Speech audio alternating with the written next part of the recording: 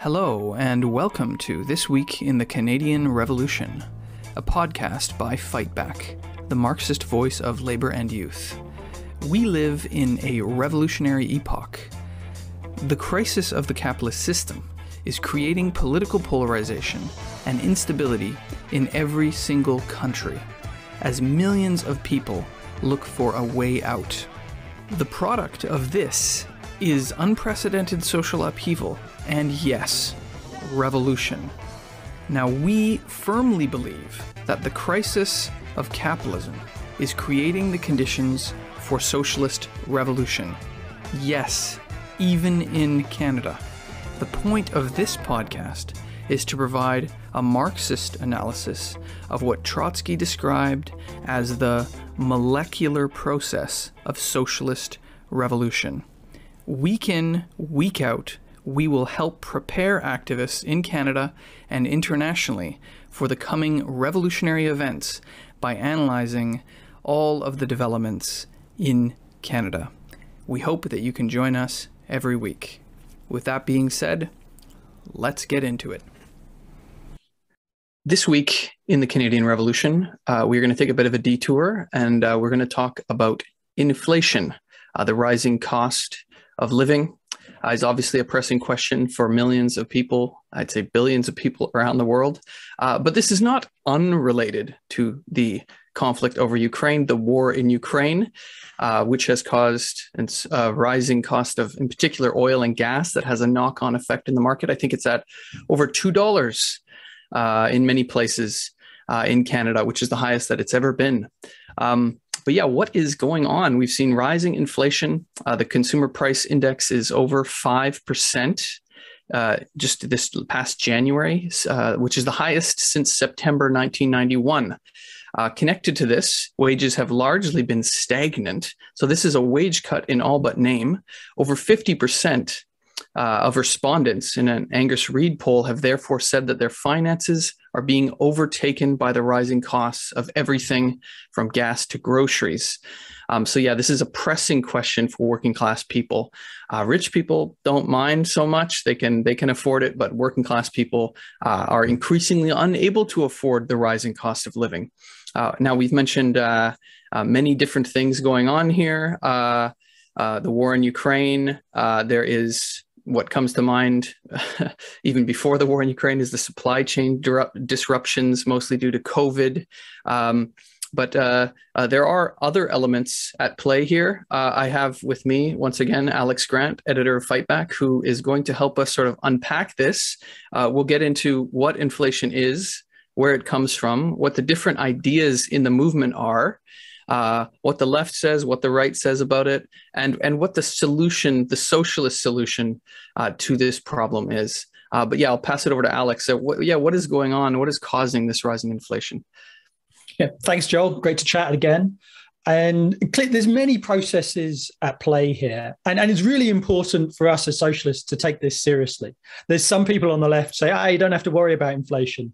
You really do. Working class people, when they fill up their car and when it used to be $50 and then it's 70 and now it may go up to $100 to fill their uh, tank full of gas then that really affects people. It makes people thousands of dollars poorer every year. It's not the, the war isn't just the $2 oil it's also wheat prices. Ukraine is a major wheat producer that's being cut off.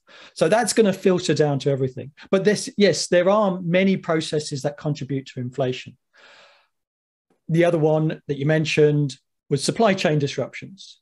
This is the illogical anarchy of capitalism, that it's on the basis of you know anarchic uh, apologies to my anarchist friends supply and demand and during COVID, there was a major shift from services to commodities. People couldn't do stuff, so they bought things. And uh, the economy couldn't uh, collaborate for that, recalibrate for that, sorry. And, uh, and that has led to temporary inflation in some areas until production comes back into balance. But other elements, which are a bit more interesting, On the one side, you've got corporate profiteering, and on the other side, you've got the reduced value of money. And, and I think that's probably the most interesting areas for us to sort of concentrate our discussion is in terms of corporate profiteering and the reduced value of money to, to really get to the heart of this question and a solution going on beyond you know, specific crises. Yeah, I, before we get into this, actually, I think we do need to put a nail in a coffin of a common argument that's raised by conservative economists. Uh, they kind of harp on, they think wages, increased wages cause inflation. This is an age old argument going all the way back to Marx's day. But yeah, maybe, I don't know, you can give us a quick argument of why that is not, why that is not true, why that's not correct. Do wages cause, in, cause inflation? Well, empirically, it clearly is not causing inflation right now Wages have been totally flat. Historically, wages have been pushed down. Workers are working harder and harder and harder and getting nothing. And yet, inflation is rampant. So clearly, wages are not in uh, inflation practically, but also wages don't cause inflation theoretically. explain why. The reality is, what is value? What is value? That is the amount of socially necessary labor time contained within a commodity. So labor, labor is value. That's the ABCs of Marxist economics. Now, if when a commodity is produced, it is on average sold at its value. And so if it takes 10 hours, it's exchanged for 10 hours of other commodities. That's what happens. And then that value is split up within the commodity. Okay, you've got 10 hours labor. Let's say five hours of that is machinery, raw materials. It's called constant capital in Marxist terms. That's old labor, dead labor from previous rounds of production. And then you've got new labor produced by the worker. So you've got, let's say you've got five hours constant capital and five hours new labor put in by the worker. But then that's split up. That's split up between the worker, wages, this is called variable capital, and profits, surplus value. So if you increase wages, if you increase variable capital, does that mean that this commodity takes more than 10 hours to produce? No, it doesn't. The commodity still took 10 hours to produce, it's still exchanged for 10 hours. The only difference is if you increase variable capital, surplus value goes down proportionately. And similarly, if you decrease wages, profits, surplus value goes up. It doesn't change the value, the final value of the commodity. So wages do not create inflation one little bit. You can study that empirically, but theoretically, it is bunk. Yeah, thanks. Exactly. I think, you know, basically you have the class struggle that is a fight over the surplus value produced. Uh, and that is what is happening now. And that is what has happened in the past. And uh, it is, if, if corporations, uh, uh, they they they have to sell their products on a market. They, they it's not just. Uh, I I think that it, it becomes quite obvious in this instance, in particular, that that the wages are not going up, and they're making record profits. And this, I think, leads directly into the question of corporate profiteering because you get the right wing that says inflation is caused by increased wages, which is obviously bullshit because that's not what's happening now. Uh, but then you also have the have the the I think like the Bernie Sanders type Bernie crew, uh, probably some NDP lefts. I don't know if this is what they argue. Um, but yeah, general left wing people that argue that oh, inflation is is simply caused by corporate profiteering. It's like capitalists being deciding to be especially greedy. Um, but I don't know. Do you want to? What do, what do you? What would you say to that? Well, there's a, there's an element of that. There's a very clear element of that. That what I previously said of prices equaling value, socially necessary labor time, that assumes free exchange. And when you've got monopolies, when you've got large corporations cornering various elements of the market. They can artificially push up prices and they can profiteer.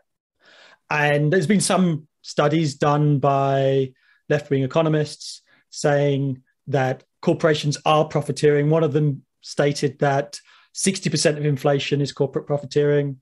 Uh, people have objected to some of his numbers, a bit of a bit of back of the envelope calculations, but it's clear that there's an element of this.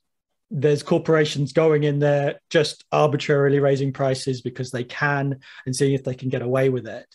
And uh, and so yes, that is a part of it, but it's not all of it because these reformists are the same people who are saying, look, print money, modern monetary theory, this kind of stuff. We don't have to worry about the value of money, that nothing like that. And so they, they're saying, don't worry about inflation. It's just corporate profiteering. So, and also the reformist solutions to corporate profiteering are very, very, very modest. It's tax the rich. And, and the reality is, if you tax the rich, they won't invest. So, our, you know, when it really comes down to it, if there is corporate profiteering, well, you need workers' control. You need to open the books. You need to open the books to see if they are profiteering. And really, you can't control what you don't own. You need nationalization to stop corporate profiteering. That's the, the real solution. But the yeah, but it's not just profiteering. And the profiteering does not explain the full story in, in any way. Yeah, so that's that is also clearly an element in this situation. But yeah, as I think as you explained, it doesn't get to the root of it. And also, identifying corporate profiteering is one thing, solving it is another. and that is not something that can be done under capitalism. That is a built-in component of the capitalist system. So uh, I think in order to understand all of this stuff, maybe we should do a little bit of theory.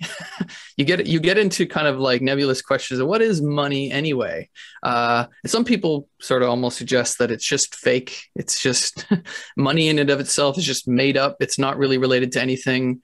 Uh, you mentioned modern monetary theory. That is not exactly what's ar- argued by by modern monetary theory, but some people it's almost suggested that it it sort of doesn't matter. You can just create it endlessly. But before we get into that stuff, I think maybe we should get into uh, Alex. I know has read quite a bit of Das Kapital, Marx Marx's seminal work. Uh, chapter three of volume one goes into this question. Now, Alex is going to try to give us a summary of Capital, uh, th- chapter three, volume one uh, in under three minutes, uh, and maybe that will that will allow us to get to the to to to kind of understand these ideas being debated in the movement and which which ideas are, are the right ideas, which ideas actually don't make any sense. But uh, I don't know. Are you ready here, Alex? Yeah, I, actually, Joel, I want you to time me. T- tell me exactly how long it takes me to explain chapter three. Okay, I will. One, we will two, see. Three, go. All right. So if you if you imagine primitive human societies, various tribes, and bef- this is the pre-class society, the, the verge of a new class society. And various different uh, communities, they'd be good at producing some things and bad at producing others. Like, say, uh, one group had had a bunch of goats and another group had fish or something like that and they'd spontaneously come into contact with each other and say we've got too many goats you've got too many fish let's swap them let's barter and so that's kind of accidental exchange. But as societies develop and there is a permanent organic surplus, these accidental exchanges became habitual. And when they're accidental, the, the, exchange ratio is quite arbitrary. It, it really is quite subjective on the, on the various needs of the different communities. But when it becomes habitual, various different communities specialize. They specialize in what they're best at.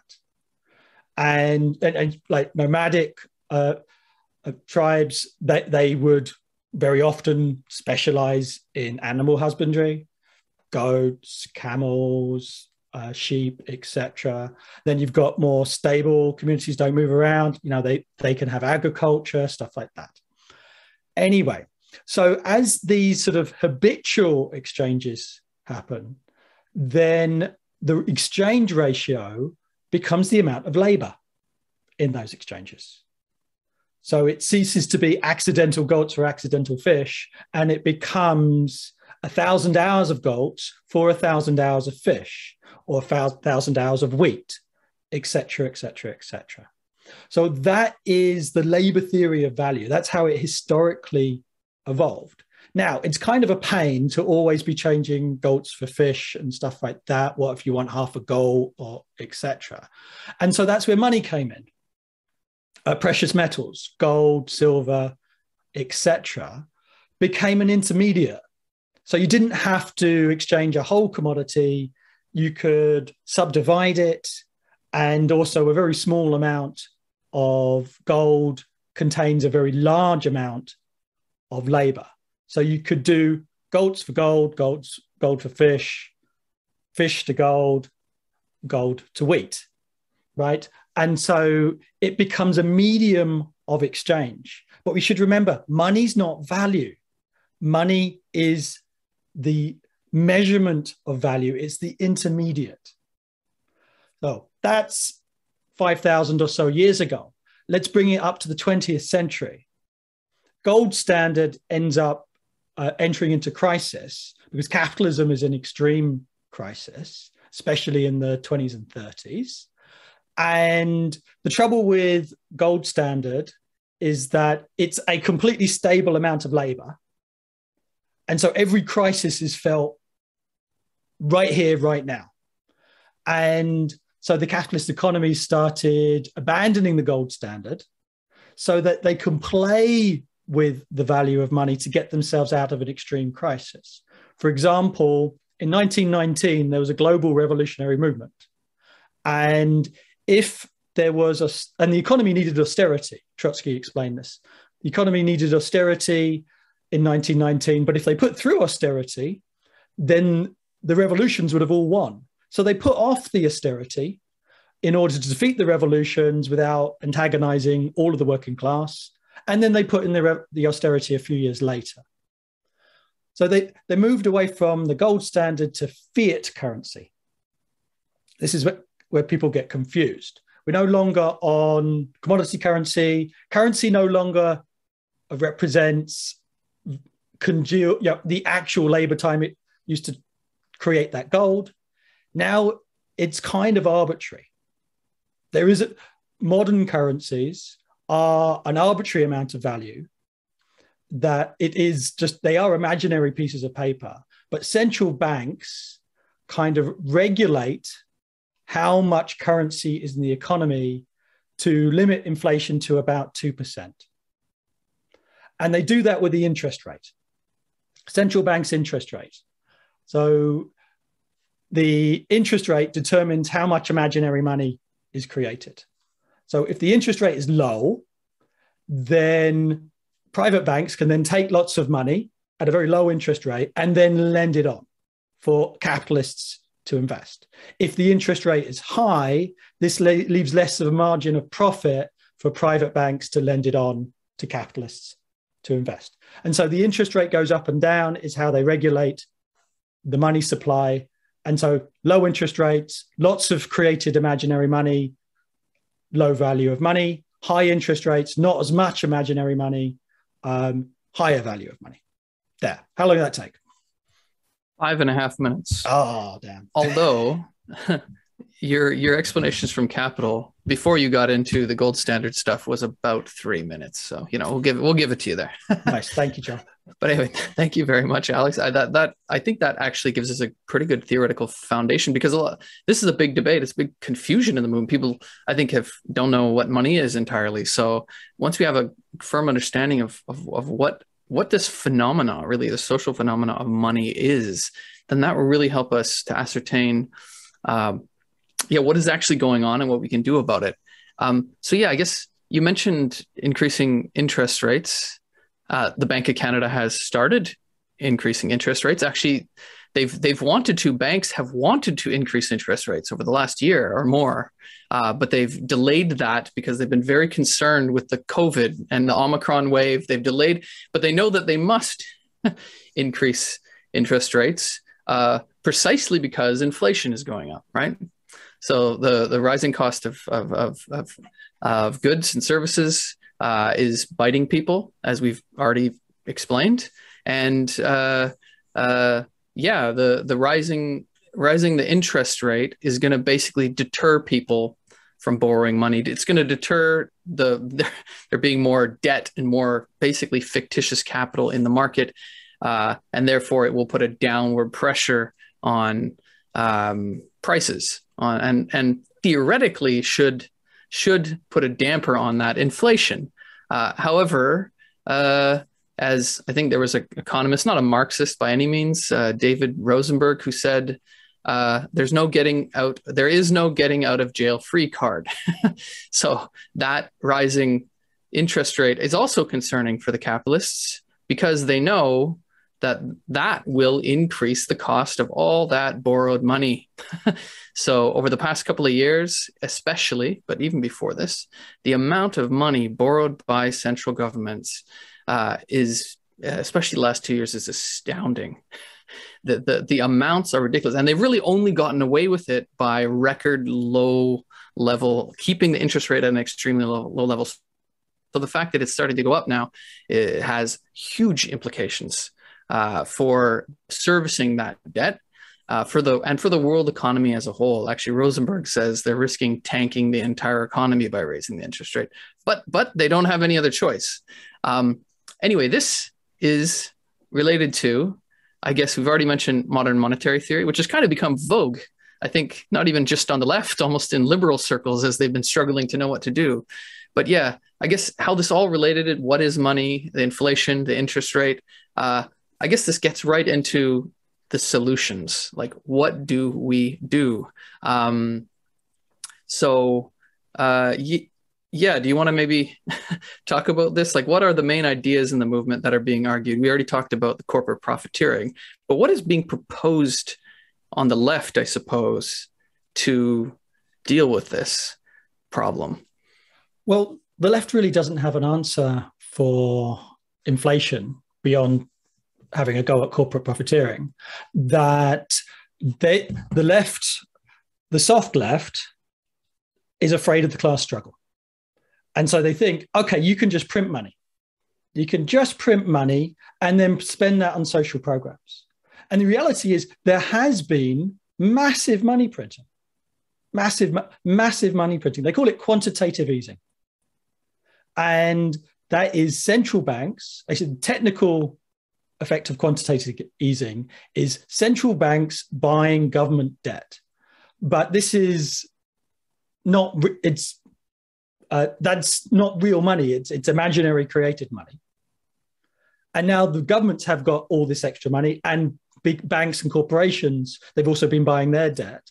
And so they've got extra money. This all feeds out into the economy as well as interest rates being at you know a quarter of one percent and stuff like that. So the, the, left says this is fine. This is fine. You, you can use this to pay for social programs. When the reality is there's been this quantitative easing. It hasn't been used to pay for social programs. It's been paid for used to pay for corporate bailouts. You've got the wage subsidy. You've got various other forgivable loan programs. It's, it's hundreds of billions of dollars in Canada, is trillions of dollars internationally, and all of this debt. And all of this debt. So, really, the, the, the reformist left has no answer to this. They just say, don't worry about inflation. Don't, don't worry about it. You can print this money. But it does lead to inflation. It is leading to inflation, even before uh, the Ukraine war or anything like that. And and this is this is going to be the issue of uh, the generation. Yeah, exactly. So uh, I think it put really puts a nail in the coffin of the argument of, I think, of the the libertarian free marketeers leave the state out of it leave the state out of it what you've had is the a massive amount of basically the state to the rescue and everyone argued that even the most right wing the most free market people were arguing state to the rescue uh, and echoed, as you said, by the reformists. I mean, the corporate wage subsidy was actually an NDP idea in the beginning. The state paying corporate wages. Astounding that that came from the left. uh, uh, but yeah, these ideas, I think it just shows the bankruptcy of reformism that that can't argue and doesn't know how to argue anything or doesn't have any idea. It's been so far in the past. Organize anything that is a, is not within the framework of the capitalist system. uh, and that's fundamentally what's happening here. So yeah, all these ideas, the the, the printing of money, uh, uh, Keynesian debt financing solutions, uh, they they all they all, if you notice, the common thread here is they all don't touch the market. They don't touch private ownership of the means of production. They simply are one fancy magical way of attempting to delay the inevitable. I think, uh, and some even deny that there is an inevitable it's like denying that there's material reality, that there's actually an economy of real things being exchanged underneath all of this money that's being pumped in. Um, yeah, so I think that that is quite clear uh, going on here. But yeah, what is the uh, actually, before we get into it, I was going to take a, I almost forgot there. I wanted to take a short commercial break. You are listening to Fight Back Radio this week in the Canadian Revolution. We are a revolutionary Marxist organization in Canada. We are fighting for a socialist solution to inflation, to rising cost of living, to to uh, rising inequality, to war, uh, to racism, to all forms of oppression. Uh, and if you are interested, uh, you're not just listening to this podcast, but you want to do something about it, you have to get involved. Contact us. You can go to our website, marxist.ca, where you can read our analysis of Canadian politics, uh, we are members of the International Marxist Tendency. You can go to marxist.com, check out our international website, uh, which I really is a treasure trove of analysis and theory um, internationally. So, yeah, but get involved, join us in the fight for socialism. Um, yeah, so let's get back into it. Uh, that's what I guess what is being done and what the, what is being argued in the movement about what to do with inf- the I guess inflation and the the the rising debt and and everything. Uh, what is the right wing saying? Yeah, so you've got people like uh, Pierre Poilievre, the the lead candidate for the Conservative Party right now, and and he's been railing against inflation. He's been railing against debt. He's been railing railing against money printing. Uh, he's been calling it yeah Justinflation, attacking Trudeau and, and and actually he's been quite populist about it saying all these low interest rates and money printing goes to pad the bottom line of billionaires and bankers. That's quoting uh, a senior conservative. He's attacking the billionaire class. So, uh, so it's a good bit of uh, trumpite populism right there. And uh, and so we can appreciate the irony. And he's not wrong it, that it ha- it does pad the bottom line of billionaires, and it do- and the money printing does cause inflation. But he's silent about wage subsidies and corporate bailouts and stuff like that. He's he's blaming the very very small amount of supports that are going to working class people, like the CERB, uh, two thousand dollars a month uh, subsistence wage during COVID, that uh, you know they're attacking that, even though like ten times more money went to corporations than went to working class people. And what is is his solution? Well, it's austerity, and it's raise interest rates, which will tank the economy and cause unemployment. So under capitalism, it is pick your poison do you want to be poorer by inflation going up by five, six, seven percent a year? Everybody's on average poorer. Or do you want to be poorer because you've lost your job under Poilievre and uh, and all your services and healthcare is privatized and education is privatized and everything's uh, all, all, of the public services are non-existent uh, and are now part of the commodified sector. So pick your poison. That these are the two different ways they make the workers pay. Whereas we say, make the bosses pay. Yeah, exactly. I think it's it's the height of hypocrisy for a career conservative politician to be talking like this. But this is a Trumpite type discourse, actually. Uh, he's appealing, he is due to the lack of a, the left doing really calling out this stuff and attacking the capitalists and attacking the Trudeau government for what they are doing in bailing out capitalism, someone like Pierre Poilievre can come in uh, and it's dangerous actually. That's why we need an anti-capitalist. We need an anti-establishment like left-wing uh, a voice you need a movement and that's what we're trying to build we're trying to build that that voice for socialism that can point the the finger at the capitalists because otherwise you have a guy like Poilievre dishonestly uh, pointing the finger at uh, um, the uh, at the government, at Trudeau, at the the the printing of money. Uh, when really he doesn't actually care about that. To be honest, I think he's just using it.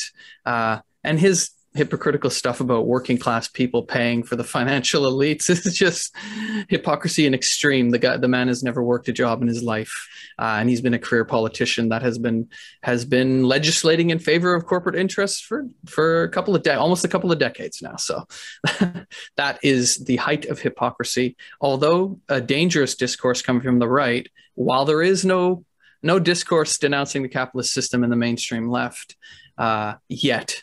Um, so yeah, really, I think you hit the nail on the head there. Capitalism is uh, it's really the double-edged sword now. You're either paying through cuts to social services, which the rising interest rate eventually is going to make inevitable. Yes. You raise the interest rate to combat inflation, the debt, the massive record debts that the governments have at all levels, provinces, federal, municipal, will now be so costly to service that they'll pass the buck on to who? Not the bosses, onto people like you and me, working class people, students, and there'll be a big push. We need to deal with the debt and there'll be attacks. Oh, don't be don't be irresponsible. It's like, well, who's irresponsible? The people that took the money or the people that you're asking to pay for the money? Um, so I think yeah, this is really the situation that we're we're faced with. So working class people are either going to have to, well, probably both. You have to you get you have to pay with austerity or inflation or both at the same time. And I think that this is going to be increasingly the the situation. But you know, we don't want to be cynical. We don't want to just explain the horrible situation and all the bad stuff that people are arguing. Uh, the whole point of this podcast is for us to show that there is a solution, there is a way out, there is a reason also to be optimistic and hopeful. Uh, and I guess that's what we can hopefully end off on here. Um, yeah, what what should we be arguing for in the movement? What is the you know the the socialist solution uh, to this? Maybe Alex, do you want to say a few yeah, words about actually, this? Before I get into that, that let's actually remember what happened in the 1970s. Is there was stagflation, stagnation, and inflation. So to stimulate the capitalist economy, they wanted to print money, lower interest rates, but that created more inflation. And to get deal deal with inflation, they wanted to you know, raise interest rates and tank the economy even more. So that's the that's the danger for them that they could end up in a situation of stagflation that, that whatever they do, it makes the other side worse. And the point is, it's the crisis of capitalism. Now, as, as Bill Clinton said, it's the economy, stupid, right? It's the crisis of capitalism. And the reformists always try to sort of juggle to ignore the crisis of capitalism. Yes, they were in favor of all these corporate bailouts and which, which total corruption in implementing them. Actually, Poilievre had some interesting numbers that the def- the deficit was about $350 billion the money printing in Canada was also about $350 billion. Right. So that's a big crisis. And as the interest rates increase, the debt servicing, that becomes the largest government department. There is no capitalist, there is no reformist way of getting out of this. And socialist solutions are the only one. You have to be prepared to ditch capitalism. That is the solution. So, first of all, well, in the immediate impact of inflation, five, six, seven percent a year, workers need a raise. The labor movement needs to organize and say, we will not accept wage uh, restraint. We will not ex- accept wages less than inflation. This is known as a COLA clause, a cost of living allowance. So all union contracts, all workers' contracts should have an inflation COLA clause. and unions need to be fighting for that. When it, and sadly, we've got horrendous conditions within the labor movement of the, the labor leaders not willing to fight. So actually, in Ontario, there's like a 1% wage cap, and that's a 4% wage cut right now. That's unacceptable. Unions need to say it's unacceptable and be willing to strike to back that up. Secondly, all right, corporate profiteering. How do we deal with that? Open the books. Open the books. No corporate secrets. No secrets at all. That we'll see what their rate of profit is and how, how they're profiteering. And, and when we see that, then we have to deal with it. That means workers' control, workers' management, nationalization. So that there is actually a fair, fair price. In terms of supply chain, well, we need a socialist plan of production to end the anarchy of the, the capitalist market. That's what we need socialism. We've instead of bailing out these corporations, we should be nationalizing them. We, sh- we should be expropriating them. They've had so many, we've actually paid for many of these corporations dozens of times over. You know, they say there's no money to nationalize. In fact, the pipeline, what is it? The um, the Trans Mountain pipeline is now went from 7 billion to 21 billion dollars. They've got money for that. They've got money for corporate bailouts, but there's no equity. There's no ownership. We need ownership. We paid for these co- companies already, and you, but you put it under democratic workers' control and a socialist plan of production for need and not for profit. And you nationalize the banks, and that's why we control we control money supply to make sure that it is accurately reflecting what is the real economy. And so people can use the resources rationally in a socialist manner, democratically.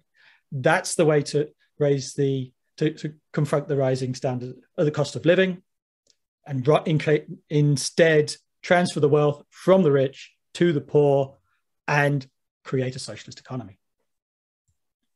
Yeah, exactly. I think these are the ideas, real socialist ideas. We, this used to be something that was de- talked about in the movement, that was demanded by the by the labor movement. Is it is it we don't we don't accept capitalism. We don't accept private ownership of the means of production. This is not our system. It actually hasn't even been around for that long uh, in the history of humanity. Uh, so, yeah, we need to have demands, and the working class needs to have demands, and the left needs to have demands that go against the system because because the as we are discussing inflation inflation is inevitable uh, austerity is inevitable crisis is inevitable corporate greed, profiteering are inevitable phenomena of the system.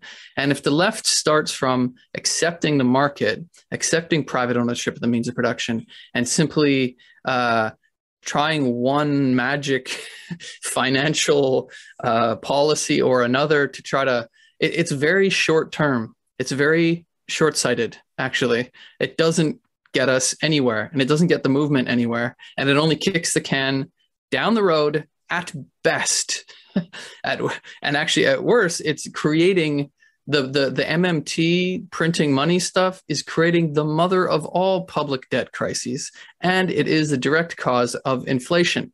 So, uh, uh, yeah, uh, uh I think the left needs to, we need we need a socialist policy, as you have outlined here, uh, to to really see us out of this nightmare situation.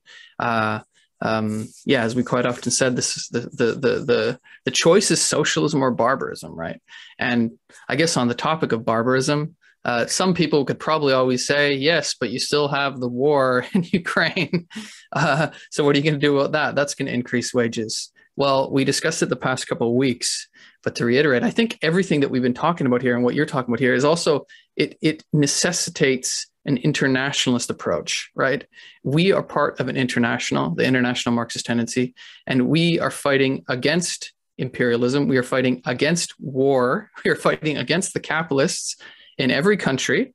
Uh, we have section in Russia Uh, we have been comrades that have been getting arrested by Putin for protesting the war. We are fighting against the hypocrisy of Western imperialism and NATO, and really, we need to revive the traditions of the Marxist movement in the in in the, the concept that the main enemy is at home.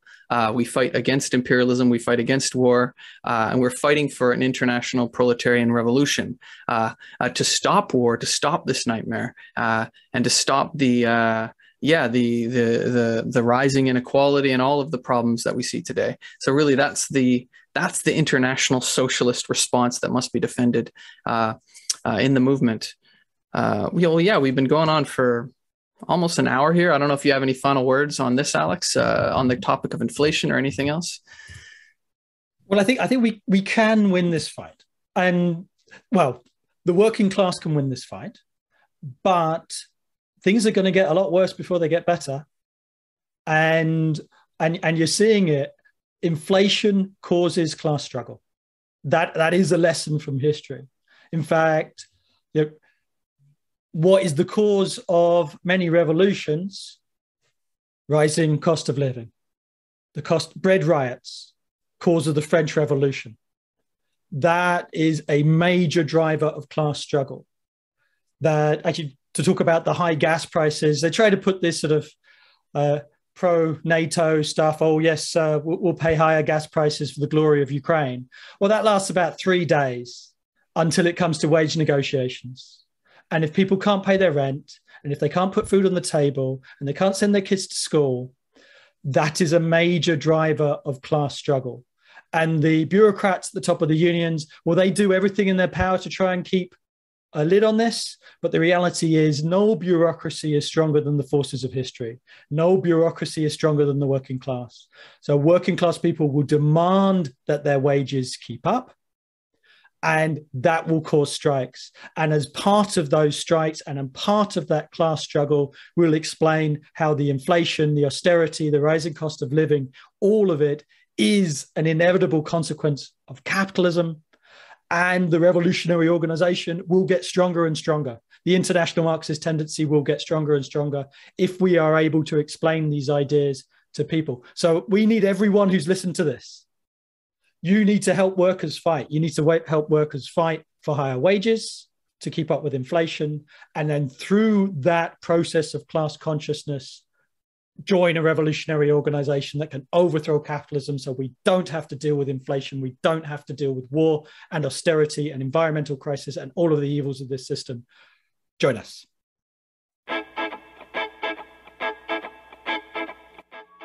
You have been listening to This Week in the Canadian Revolution, where we analyze the events of the class struggle, the turbulence and polarization brought upon by the crisis of the capitalist system, in order to prepare activists for the coming revolutionary events, so that we can fight back and build socialism in our lifetime. You can find us at Marxist.ca, and we will be doing this podcast every week, so we hope that you tune in again.